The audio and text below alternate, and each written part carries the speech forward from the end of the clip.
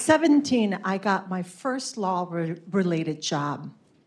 And one of my old bosses asked me to walk in the room, to close the door, and to sit down.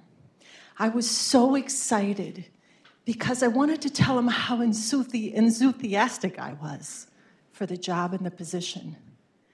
And as I sat down, he came around my chair, he put his hands on my shoulders, and proceeded to offer me financial security. I was 17. I was so scared. And instinctively, I looked around that room looking for someone to advocate for me, to protect me. And seeing no one, I wanted to just fling those doors open and start running and run all the way home and never come back. But I knew that if I did that, he would forever write my story.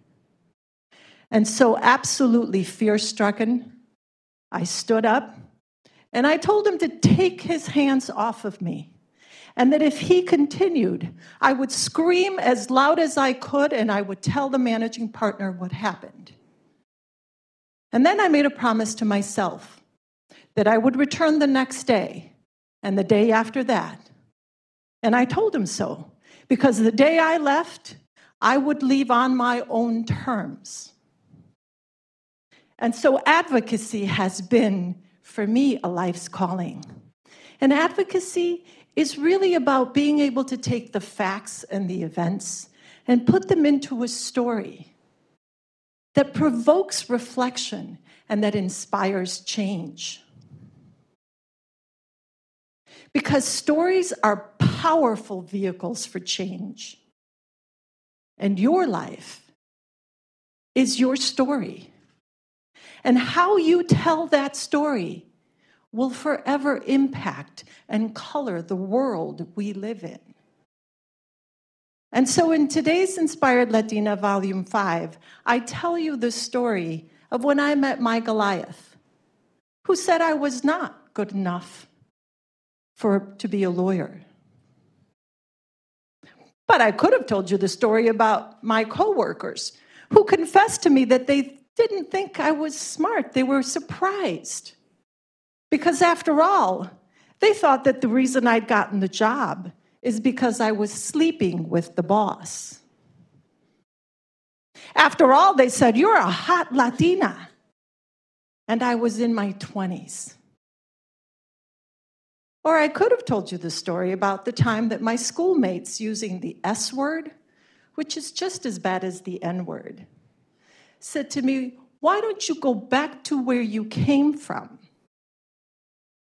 And what I knew then is what I know today that no one, but no one, is going to write my story but me.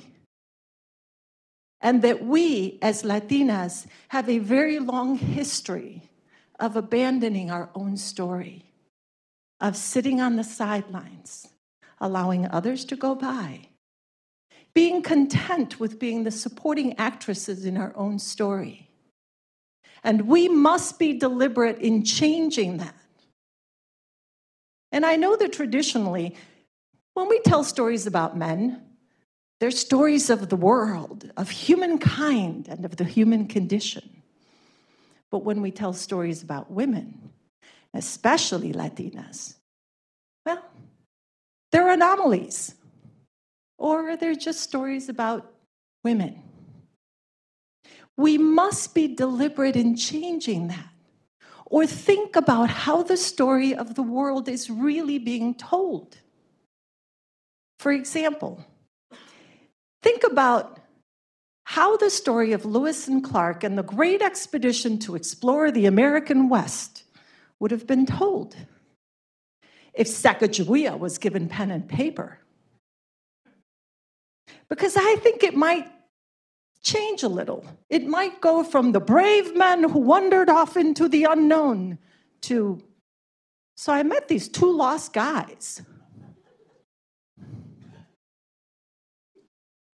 It is our time to take our place in history.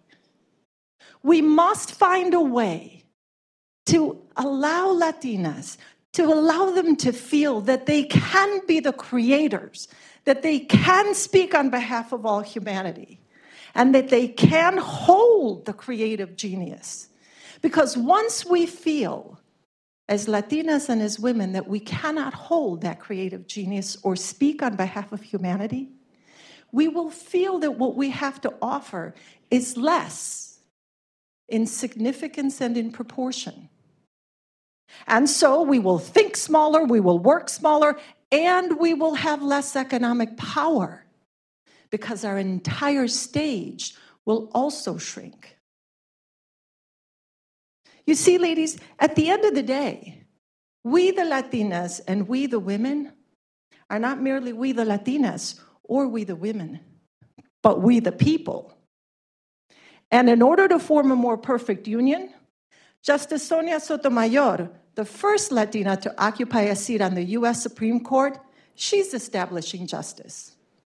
And what about Hilda Solis, former labor secretary, who worked for better wages and safety? She knew about ensuring domestic tranquility. And Sergeant Gianna Fimbres, who drove convoys and took enemy fire during Desert Storm. She provided for the common defense.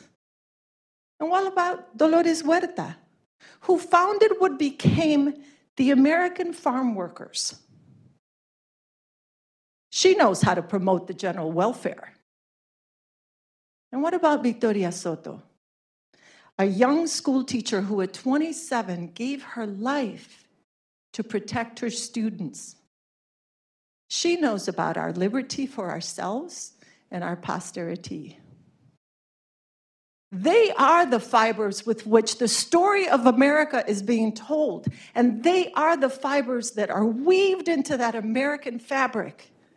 And they are the living, breathing preamble to your Constitution. And if you are to do them justice, you must believe that you can speak on behalf of all humanity, that you can op- occupy the center space because you will have that day. You will have that boss, you will have that classmate, and you will have that colleague. And if at that moment you believe that you need to step back and be that supporting actress, I am here to tell you that there are thousands of us behind you, that we are here to support you, and that we're here to root for you. But most importantly, that we are here to see what you will do. So, what will you do?